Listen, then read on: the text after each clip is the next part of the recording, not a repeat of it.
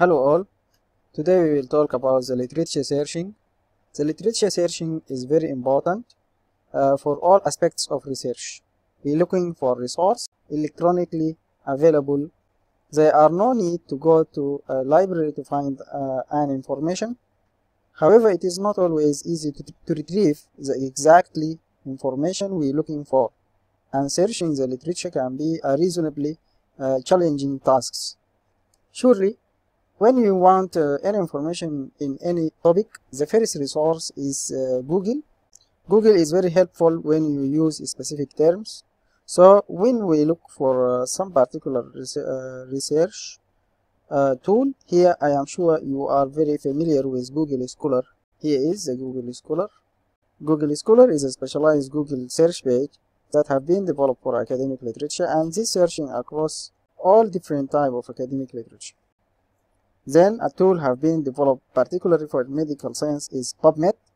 PubMed is a bibliographical database run by the NCBI and covering a range of biomedical literature including Medline.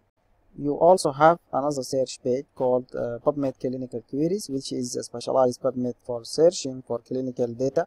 Another scientific literature resource is Scopus this is the largest uh, abstract and citation database for uh, peer-reviewed literature across all scientific domains.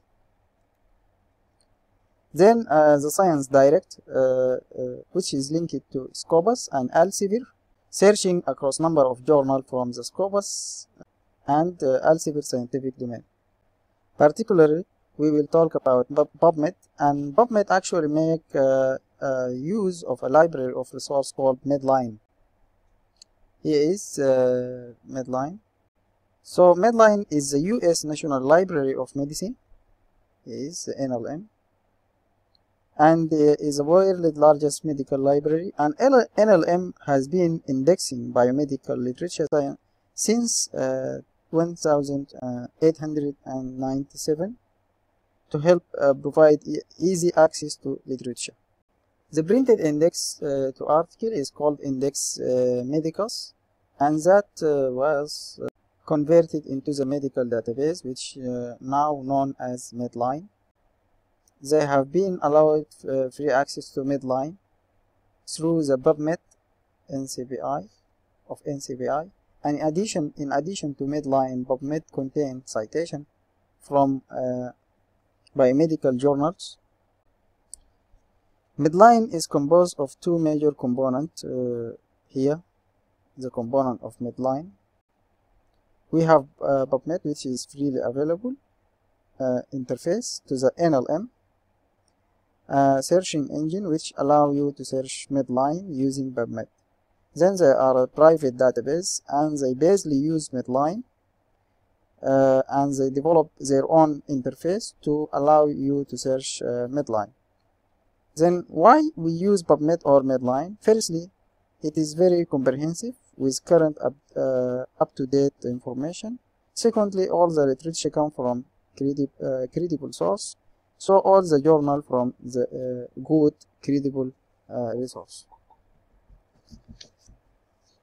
Thirdly, there are uh, controlled uh, vocabulary for indexing and searching and then we uh, said uh, as we said previously uh, that the journal and article have been indexed and then allows you to searching using particular query.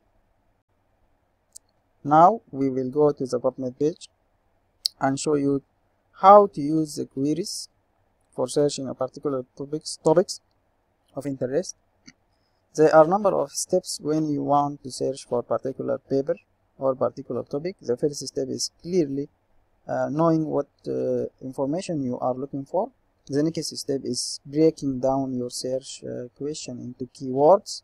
Then identify the main source that uh, you're going to search for uh, quality data. And then decide if it is uh, best to combine your keywords or search for them separately.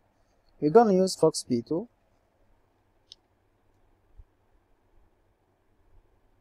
uh, FoxP2 as an example here I am interested in the genetic variation in the FoxP2 gene and its impact of speech development So uh, you would also like to find the original case uh, study that suggests uh, that FOXP2 is responsible for speech development in human.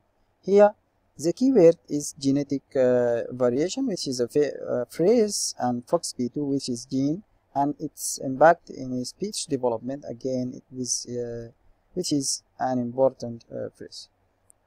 So uh, this is the homepage of PubMed. Uh, I type FOXP2 and searching with not with no additional information and this is the result I get back. As you can see there is a result uh, of uh, 637. Uh, here is uh, the advance, the advance click or relink which will take you to the advanced searching page. Here is the first hit uh, which is uh, talk about the driven network in development disorder and neurodegeneration. And here is the time in which this hits uh, published. You can narrow it uh, or you can use uh, a lot of uh, older one